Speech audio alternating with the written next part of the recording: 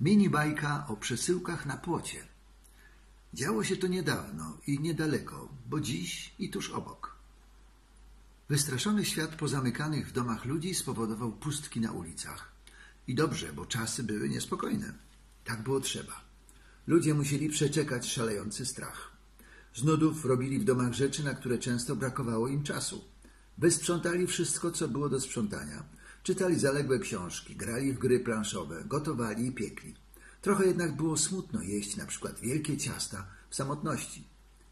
Wymyślili więc ludzie zamknięci, że po cichu w samotności przejdą do płotu sąsiada i zostawią tam przewieszoną torbę, a w niej część tego, co ugotowali i upiekli. Tak samo pomyśleli sąsiedzi.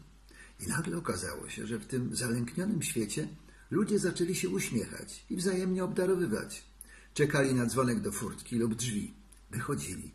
Nikogo nie było, ale na płocie lub na wycieraczce leżała torba ze smaczną przesyłką. Brali do domu, smakowali i dzwonili do sąsiadów, aby porozmawiać tak, jak dawno nie rozmawiali. Z błyskiem w oczach robili później to samo dla innych. Dzielili się posiłkiem i życzliwością. Strach szalejący w świecie zaczął się zastanawiać, czy ma sens jego wszechobecność, skoro ludzie nabrali nadziei i uśmiechu. Jego działanie miało nieprzewidziane skutki. Przyjaźń.